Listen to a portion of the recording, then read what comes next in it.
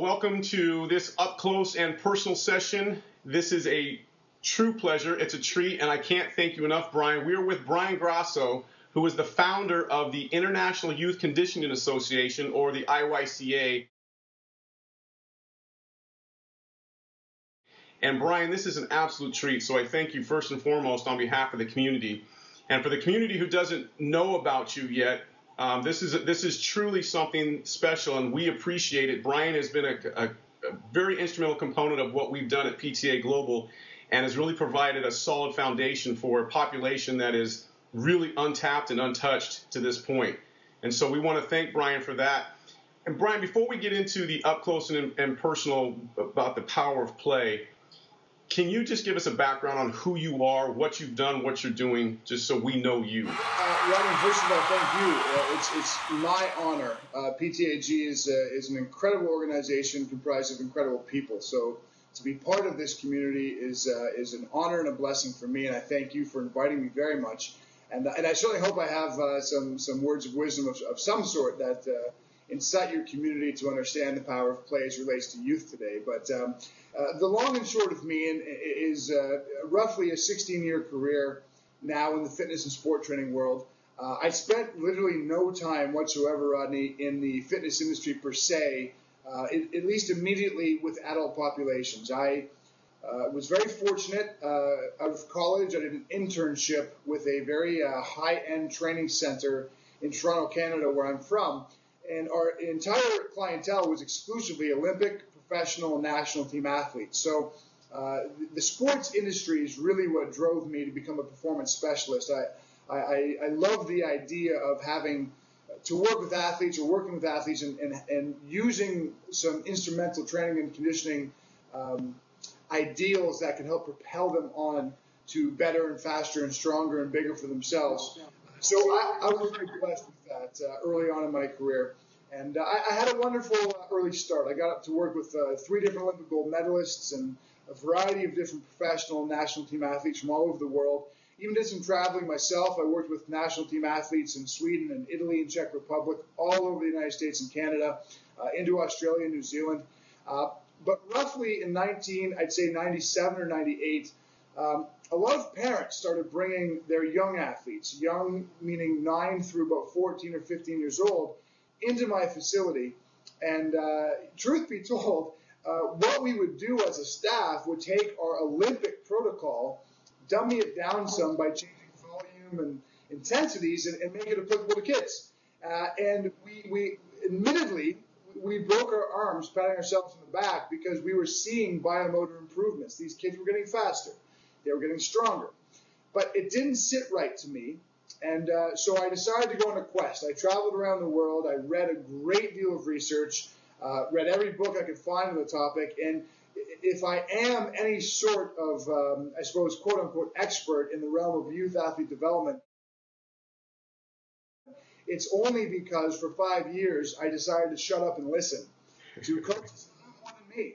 And I, I read their books, I talked to them, I interviewed them. And when I came back to Canada, I realized that I was on the wrong path, that long term athlete development was a science and an art unto itself.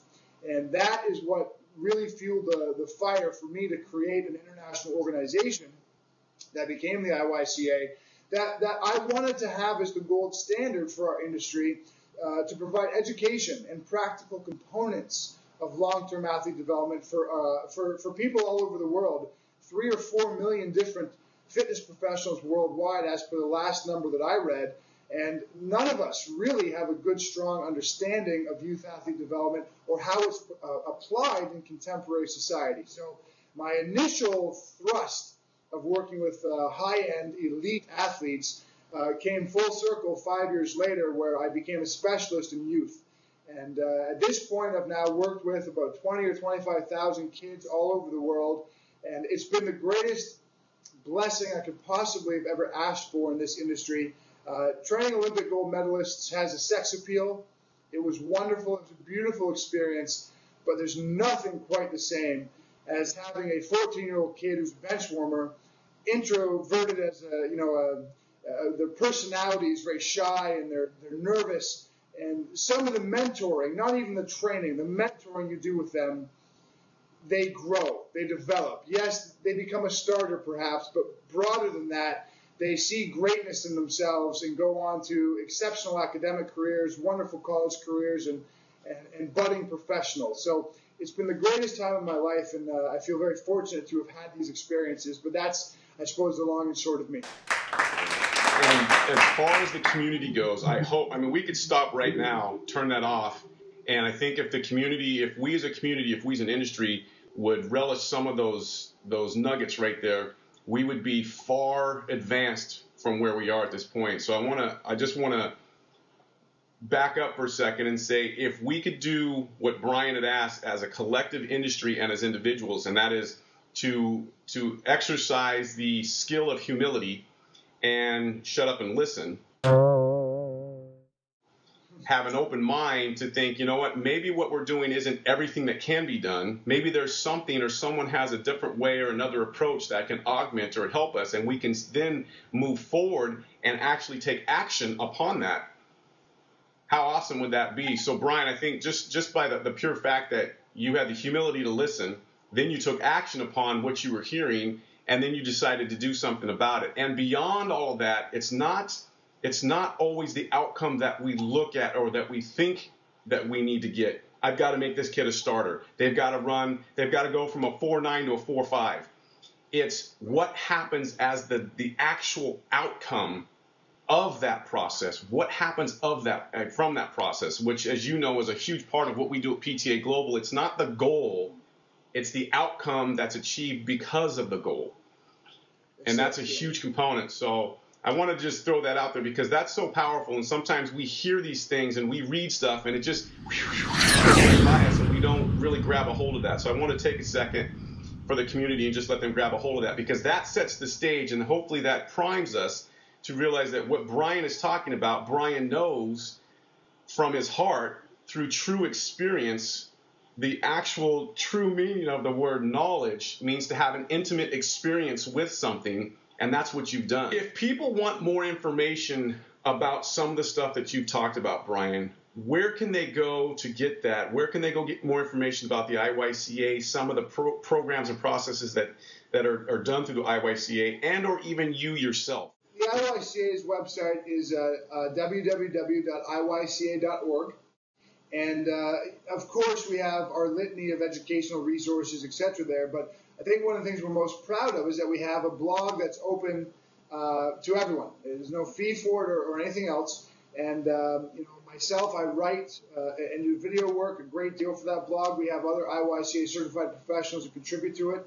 Uh, Dave Gleason is coming to mind, uh, a gentleman who owns an Athletic Revolution franchise uh, near Boston, uh, who's taken all the IYCA concepts and runs of this facility. So he loves to get on camera and talk about play and how he creates obstacle courses and relay races uh, using smart parameters of coordination development. So head over to iyca.org and at the top of the page there's a little icon that says IYCA blog. Click on that. There's about four years worth of free resources there, and we add every single day, uh, every day, five days a week, uh, new information. So enjoy that, and uh, we believe it to be our our uh, part of our legacy, to be honest, is to um, to educate, to to inspire our industry to understand more and work better with kids. They are the most important, the greatest resources this planet enjoys. So we have to nurture them, protect them, and do right by them.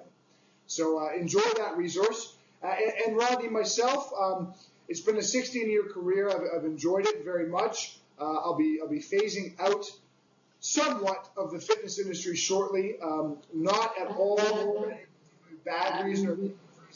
I think just philosophically, uh, I believe and, and, and, strongly support the notion that we, we all have finite numbers of years on this planet, and uh, the best work you can do is to uh, do good work that makes. Uh, I, I'm fond of saying I've always wanted to leave the world in a better place than it was when I found it and uh, create a legacy that exists beyond you, far past you. I truly hope that the IYCA and our franchise Athletic Revolution have done that. Uh, and now it's time for those organizations to fly without me, and I think they're going to do tremendously well.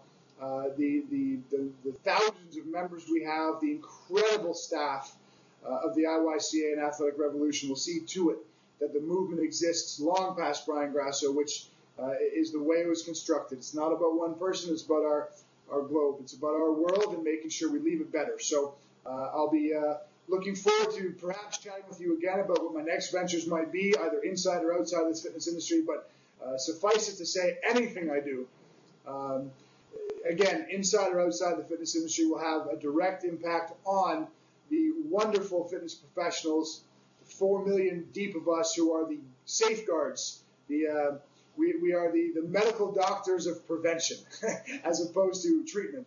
Uh, so bless you all for the work you do, and anything I do in the future will certainly have uh, my thoughts and how it can make your life better. So I, I look forward to touching base with you again, perhaps. Uh, thank you so much, Brian. We appreciate that. Absolutely.